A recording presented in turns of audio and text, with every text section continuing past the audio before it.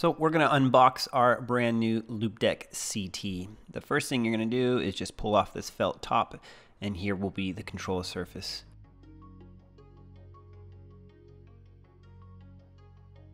Underneath you're going to see the USB-C holder and instruction manual. Head over to loupedeck.com to download the Loupedeck software.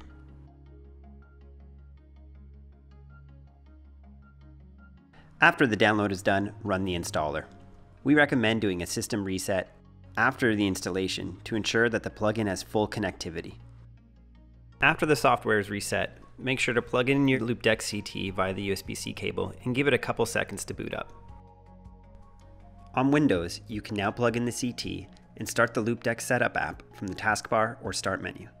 If you're on a Mac like me, we need to make sure that the Loupedeck app has the needed permissions to run.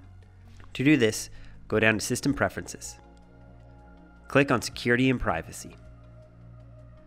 Then scroll down to Accessibility and click that. Here you want to make sure that Loupedeck has a check mark beside it. If it doesn't, you need to unlock your preferences and click on it. After this, come up to the top hand right corner and click on the Loupedeck icon and scroll down to Open Setup and click that. Here you'll see the list of programs already available. As well, in the bottom left corner, you can activate the guide at any time for a guided journey through the Loupedeck software.